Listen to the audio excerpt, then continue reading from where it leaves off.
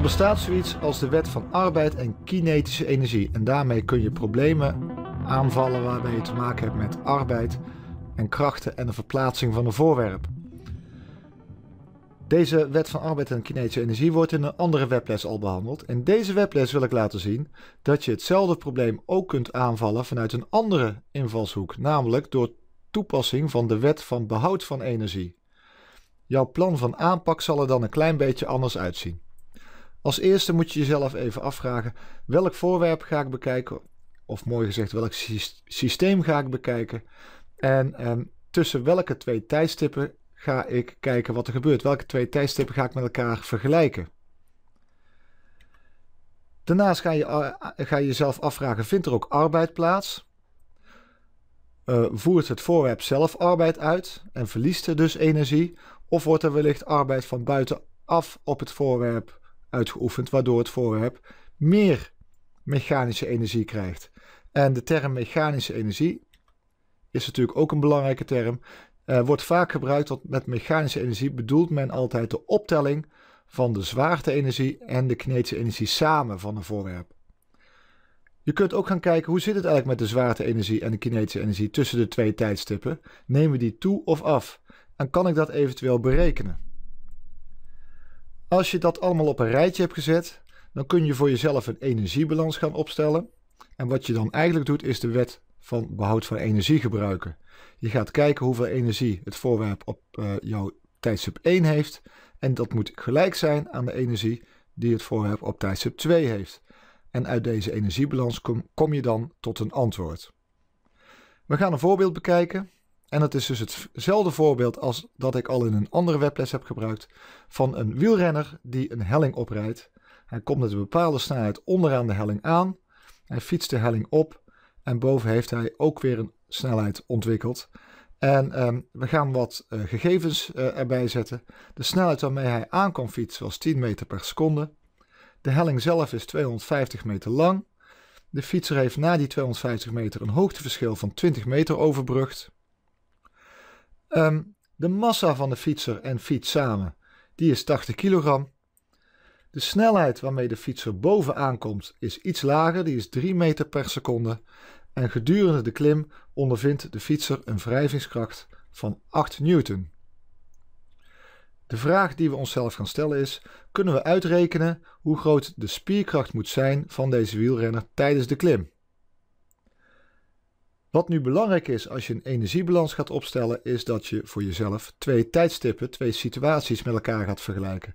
En in uh, dit probleem is het uh, vrij logisch dat situatie, uh, situatie 1 zal zijn op het moment dat de fietser beneden begint aan de klim. En situatie 2 dat de fietser bovenaan is gekomen tijdens de, zijn klim. Uh, deze twee situaties gaan we met elkaar vergelijken. Maar eerst moeten we gaan kijken hoe zit het eigenlijk met de energiesoorten en vindt er arbeid plaats? Um, laten we eens even kijken welke krachten er op de wielrenner werken. Er is een zwaartekracht, er is een wrijvingskracht en er is een spierkracht die de wielrenner zal moeten on ontwikkelen om naar boven te kunnen rijden. De zwaarte-energie tussen situatie 1 en situatie 2, die zal veranderen. De kinetische energie ook. Dan ondervindt de wielrenner een wrijvingskracht, dus er zal energie ja, tussen haakjes verloren gaan aan warmte. En de wielrenner moet ook moeite doen om vooruit te komen. Hij zal arbeid moeten verrichten en die energie die hij dus uh, aan arbeid kwijt is, die stopt hij eigenlijk in zijn systeem. De wielrenner die eindigt op een hogere hoogte dan dat hij begon, dus de zwaarte-energie zal toenemen. Zijn kinetische energie die zal afnemen, want bovenaan heeft hij een lagere snelheid dan onder. Dan ondervindt hij ook een wrijvingskracht en een wrijvingskracht zorgt altijd voor warmteontwikkeling. Ja, en die energie die raak je eigenlijk kwijt uit jouw systeem. Um, en dan de arbeid. Hij moet moeite doen. Die arbeid is energie die hij erin stopt. Nou, met deze kennis kunnen we een energiebalans gaan opstellen. Hoe ziet die energiebalans er dan uit? Uh, die energiebalans ziet er als volgt uit. Wat je natuurlijk gaat doen is de mechanische energie in situatie 1 vergelijken met de mechanische energie in situatie 2. Dus ik heb een zwaarte-energie, ik heb een kinetische energie. Die veranderen allebei tussen situatie 1 en situatie 2. En we gaan dadelijk zien, ik weet genoeg gegevens om te berekenen hoe die veranderen.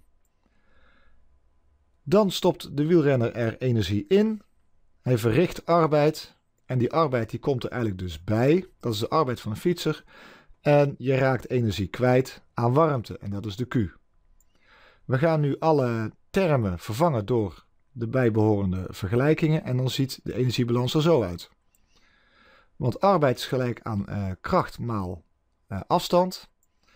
En we hebben hier uh, geen uh, cosinus alpha bijgezet, want de spierkracht staat in dezelfde richting als de verplaatsing. Dus um, alpha is 0 graden en de cosinus van alpha is 1. Zwaarte-energie is m maal g maal h, kinetische energie is half mv kwadraat. En voor Q heb ik ook een vergelijking. Q is namelijk altijd gelijk aan de grootte van de wrijvingskrachten maal de afgelegde weg S. Nu kan ik alles wat ik net aan gegevens uh, op had geschreven, kan ik hier gaan invullen. Uh, maar ik kan eerst nog de boel een beetje vereenvoudigen. Want ik mag uh, de nul van mijn zwaarte-energie, die mag ik kiezen waar ik wil. En dan is het meest makkelijke om het punt waar de wielrenner begint met zijn klim, om dat hoogte 0 te noemen. En als ik dat doe, dan heeft de wielrenner heeft geen zwaarte-energie op tijdstip 1. Nu ga ik het invullen.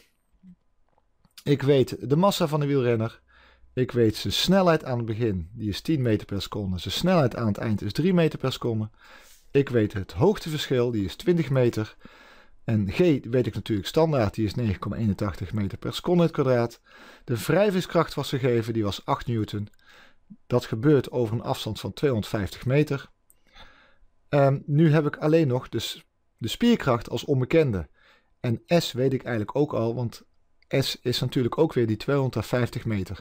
Ik ga eerst alle getallen die ik heb uitrekenen. En dan komt er dit uit. Dan moet mijn spierkracht maal afgelegde weg gelijk zijn aan 14,1 kilojoule. Ik kan de boel vereenvoudigen. Ik kan S naar de andere kant halen. Dan, dan ziet mijn vergelijking er zo uit. En ik kan de spierkracht uitrekenen. En die blijkt gelijk te zijn aan 56 newton.